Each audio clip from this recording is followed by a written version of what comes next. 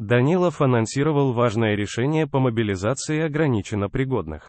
В Украине хотят урегулировать вопросы, касающиеся мобилизации ограниченно пригодных к службе.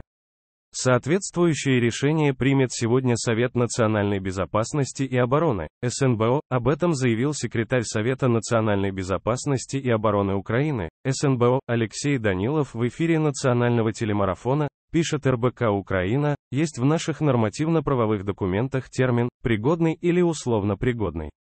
Надо дать толкование, кто такой условно пригоден, где люди, имеющие такое предписание в своих документах, могут использоваться, рассказал он. Дело в том, как отметил секретарь СНБО, когда такие люди попадают в те или иные части с условной годностью, есть некоторые процессы у командиров. Поэтому для того, чтобы закрыть этот вопрос раз и навсегда, решением Совета нацбезопасности и обороны дано поручение разъяснить этот документ, чтобы не было двойной-тройной трактовки этой нормы, подчеркнул Данилов. Как добавил он, сегодня этот вопрос решением СНБО будет решен и не будет никаких двойных толкований этих документов, это законодательные изменения, констатировал секретарь СНБО, Мобилизация в Украине. Мобилизация в Украине была объявлена после масштабного вторжения РФ в феврале 2022 года.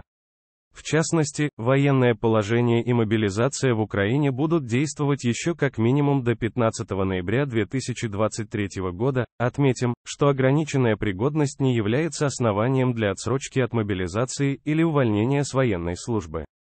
В то же время военнообязанные этой категории не могут служить в некоторых родах войск, морской пехоте, десанте и так далее. Перечень диагнозов, определяющих степень пригодности к военной службе, регламентируется соответствующим приложением к приказу Минобороны. Подробнее о нововведениях, коснувшихся мобилизации в Украине в сентябре, в том числе и ограниченно пригодных, читайте в материале РБК Украина, срочные и важные сообщения о войне России против Украины читайте на канале РБК Украина в Телеграм.